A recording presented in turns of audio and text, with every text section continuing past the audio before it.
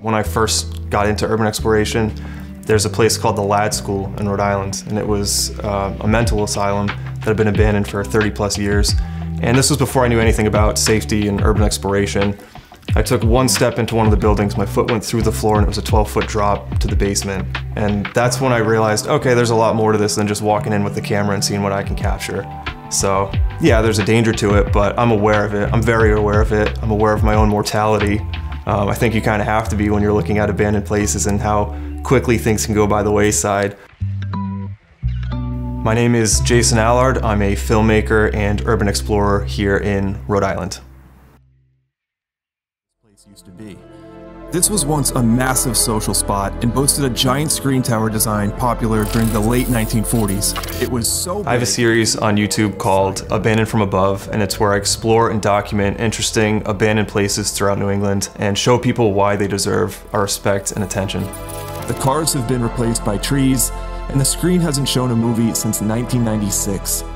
Welcome to the abandoned Sutton. When I look up urban exploration or abandoned videos on YouTube, or I look up historic videos on YouTube, there's two main types, right? You have like on the historic side, it could be basically a PowerPoint slideshow where they're just giving you the facts. And if you go on the abandoned side, it's people walking through abandoned places with a camera, point of view, and there's really no narrative there. And I enjoy both types, but when I make my video, I want to combine the two of them and then make it as exciting as possible. Before we explore, we gotta go back to the start of drive-ins so you can fully appreciate exactly what we're walking through here. The first pad to drive-in. When people watch my videos, by the time the video wraps, if they can just walk away with a better appreciation for local history, hidden history that we have around us, then I feel like I did my job. And if they were entertained while they did it, then that's a huge bonus. So each one of my videos, there's a lot that goes into it. I'm a one-man team for the most part. I do have some very talented friends that join me on these shoots. When it comes to scripting, voiceover, editing, that's all me. I do this in my spare time. This is a passion project of mine, so I have to make sure that the spot is worth it. So I do at least a week of research and building the script so that I know the exact shots I need to get to tell the story. And then from there, I come up with a shot list. I come up with everything I need to do day of. And then I pack up my gear bag. I typically use two main cameras. It's my drone and the DJI Osmo Pocket. So it's very compact and small so I can set up and break down easily. What comes next is the longest part of the process, and that's editing the video. There's a lot that goes into it, and for it to only be one person, um, it can get overwhelming sometimes just because there's so much that you have to focus on. There's so many moving parts in my brain when I think about what goes into a video, but it's the most rewarding thing when I finally hit upload and being able to share that with so many people. I was just creating these videos for me. Like I was just having fun, finding the history, telling the stories, and then kind of like improving my filmmaking process and editing skills. So for people to be able to enjoy that now and to share in my excitement has been awesome from this YouTube channel.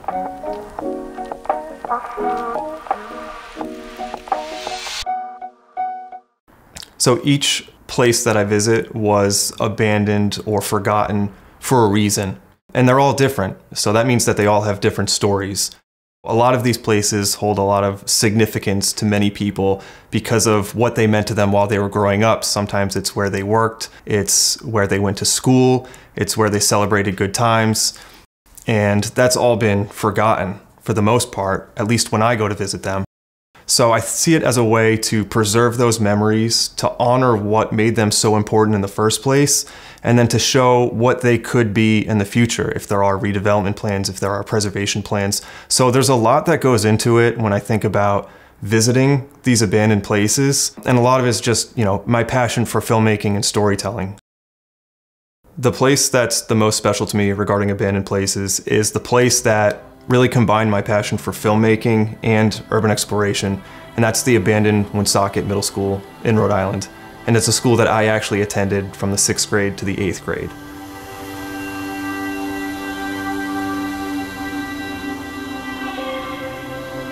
The first time that we stepped foot in the school since it had been abandoned, and actually since I had been a student there, was completely surreal. And there's a term that comes to mind, it's called a grail. This is within the urbex community, and a grail is something that hasn't been touched by vandals, arsonists, hasn't been redeveloped. It's just essentially stuck in time. And these are extremely rare.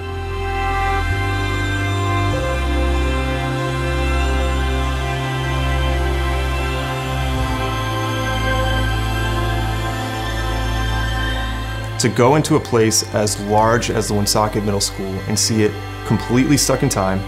Books were still on the desks, writing was still on the blackboards, there were still chairs in the hallways, posters, student projects, everything was left the same way it was.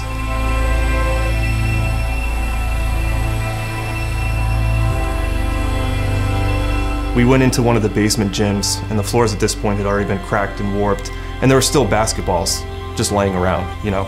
It's like they just left, locked the doors, and then no one was able to go in there since we went back into that school. You know, you can imagine everything is completely covered in dust and it's dead silent, which is probably the most eerie thing when you're walking through a school. You expect to hear kids laughing, students talking, you know, faculty talking, and then it was just nothing because it's just closed up, windows are closed, dead still. And it's the most surreal thing, especially having been a student there, it's, it's a lot to take in. My biggest advice for people just getting into filmmaking is to find something that they're passionate about or they already have an interest in. Even if it may seem boring to other people, when you're starting out, you're not making it for other people. If you go in with the expectation that you're gonna get 100,000 views, a million views, then you're already doing it for the wrong reasons. You gotta do it because it's fulfilling to yourself and it feels good creatively. So once you go down that path, then you're going to evolve naturally. You're going to, you know, get in your rhythm and you're going to be able to improve your own style.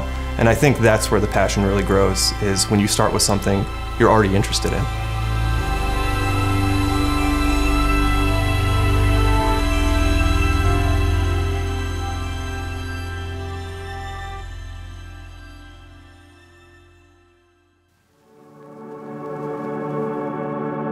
Thanks for watching.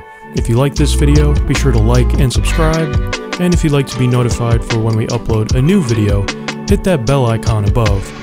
If you'd like to see more of Jason Allard's work, see the links in the description below. Special thanks to filmmaker Dave from Run of the Mill and Jason Allard for additional footage. Until then, see you in the next video.